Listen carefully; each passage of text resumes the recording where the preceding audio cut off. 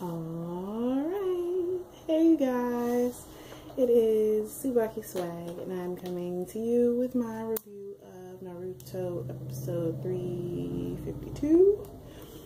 If I remember correctly, if I'm wrong, of course, it'll be in the video somewhere.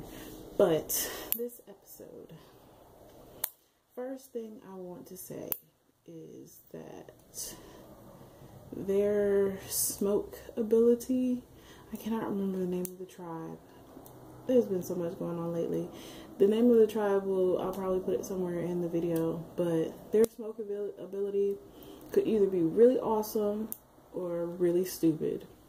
Considering that like they can make their actual like physical being turn into smoke, but if they get if they go outside and get blown away, they die pretty much, which I think is really stupid that ability should have been better thought out, in my personal opinion.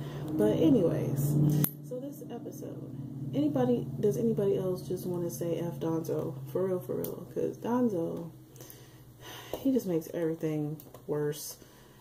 But I want to say that even though some people might not want to admit it, Sarutobi is kind of a softie. Like, he was a really good Hokage or whatever, but he is kind of soft because he had the opportunity to kill Orochimaru and he didn't. And because of that, there is so many like Orochimaru has triggered so many bad things in the village. Like it's not even funny. So Sarutobi did in a way kind of like F the village over because he didn't take out Orochimaru when he had the opportunity.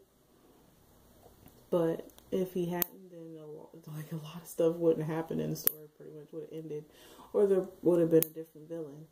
And Orochimaru is a pretty good villain because I never realized how freaking sinister Orochimaru is until the part when him and Kakashi were fighting, and he like he well he pretty much ignored Kakashi as he walked by him, but just the look in his eyes were freaking creepy. Like Orochimaru was a creep, for real, for real. But I mean, that's just part of his personality, I suppose. It's in his nature. But Orochimaru.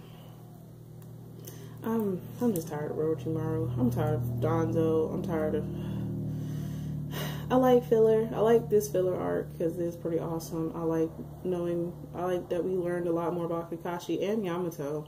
So, um, but then also in this part, I believe that Yamato is Tenzo or well Kino is Tenzo, which of course we all know that it's Yamato because he did the creepy face. But I believe that he is Tenzo, which is um, Yukimi, Yukimi, um, brother. But I'm still not sure who I believe was in that other like um test tube that was near Yamato that he like they showed him looking at when he was a baby. So I'm not sure. I'm not sure. I would love to hear who y'all think that is cuz I have I kind of think that that might be um Yukimi. I feel like I'm pronouncing her name wrong. But y'all know who I'm talking about. But I feel like it's her. But then again, it might be somebody else that we've already seen in this series.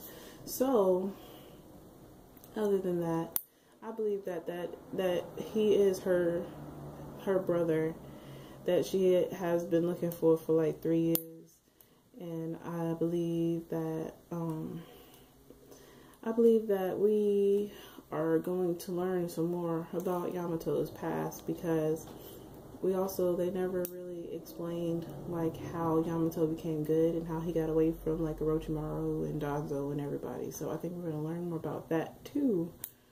But I don't know. I'm looking forward to well, it's the well day after tomorrow now because I know that I'm really late with this review, but I've had a lot of stuff going on. It's not my fault. but at least I'm going to catch up. I'm going to review everything that was supposed to have been reviewed this past weekend. So this episode, it was pretty awesome. And I want to see Kakashi's face. They never show his face. I'm tired of not seeing it. It's making me angry. But I have a feeling we're gonna have some closure about the things that Kakashi went through, and we're gonna find out about um, Yamato's past a little bit more because this was most more supposed to be about Kakashi, and then it kind of veered off to Yamato.